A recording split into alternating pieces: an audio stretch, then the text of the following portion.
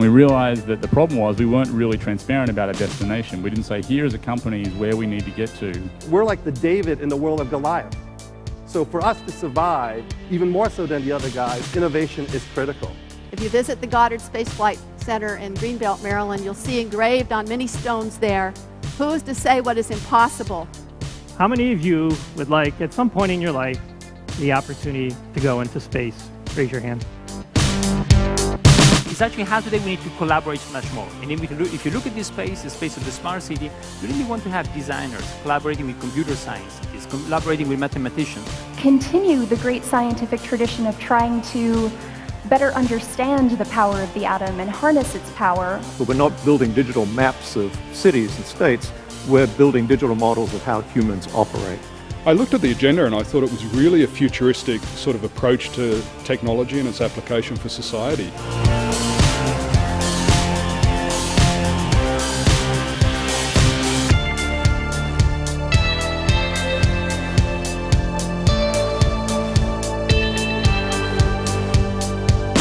So we developed regional editions of the Innovators Under 35. And now we've got 20 regions all around the world.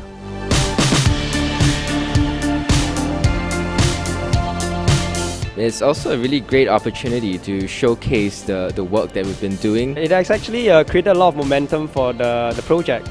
We have so much uh, uh, press interest as well as interest from diagnostic commercial communities. So it has built a great momentum for the company. Ladies and gentlemen, the young innovators under 35.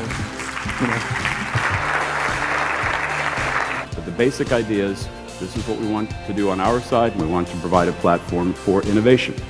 The best way to predict the future is to create the future. So we foresee that we will see unmanned ships, and we're going to make, it, make sure of it by creating them ourselves. For, for people who don't know uh, what Baidu is, you can always think Google is American Baidu. What you're seeing here is an image of a AR head-worn display. So it is said that God created man in his image. So now man is trying to recreate his own image in the form of what's known as the digital human.